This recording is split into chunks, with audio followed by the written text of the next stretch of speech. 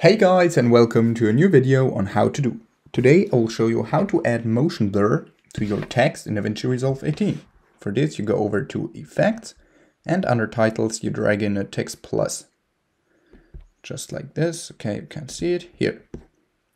Then you click the text, go over to the settings and customize your title however you like. For example I go with text and I'm adjusting this size a bit. Then what you want to do is move the red cursor all the way to the start and go over to settings and with the position change go all the way to the start of your text so that it's out of the frame. Then you click this little diamond and move your cursor five frames to the right. One, two, three, four, five.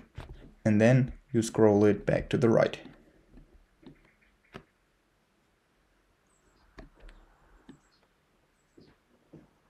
Until we are here. Then what you want to do is go back to title, go here to settings, go to motion blur, get the quality to 10 and the shutter angle to 360. And then you can slow back and this is your new text. Okay, that was a quick tutorial on how to add motion blur to your text. If you enjoyed the video, please like and subscribe to stay tuned for more how to do videos. See you guys soon.